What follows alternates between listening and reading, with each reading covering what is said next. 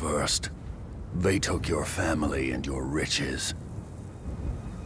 Then they took your health and your pride. Finally, they left you to die. What will you do, exile, when there is nothing left but to live or die?